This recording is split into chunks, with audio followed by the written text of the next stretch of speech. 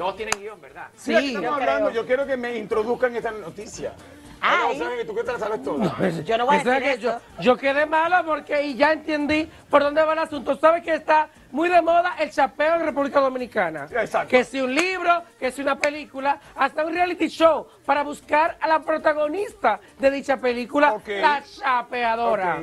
Al parecer todo indica que la chapeadora seleccionada es nada menos que la torita. ¿Qué? Ingrid Jorge. ¿Cómo?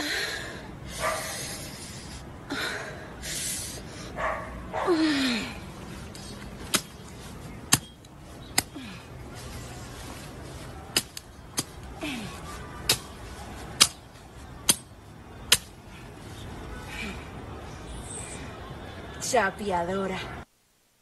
Ahí estamos viendo exactamente. El término chapeadora realmente se origina de las personas que, que- que con un machete, con un ella instrumento, van limpiando el camino, ¿verdad? Mira ahí Van cómo ella chapea. El monte, la paja y todo lo demás para hacer un camino. El pasto. El Pero ella pasto. está excitada. Exacto. Sí. Ve porque ella está, ella está jugando. Ahora, me Ella está dijeron- con morbo. Me dijeron que Ella está JJ cansada y gimiendo. Me dijeron que JJ, el que metieron preso, estaba grabando.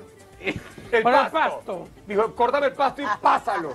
No, no, no, en serio. Ay, ahora, mi pregunta es la siguiente. ¿Él te fuma toda esa marihuana y se le funde ese cerebro? Bueno, Ay, mientras tanto- Pero ¿por qué se nos dice no le Mientras tanto, ven acá. Marihuana.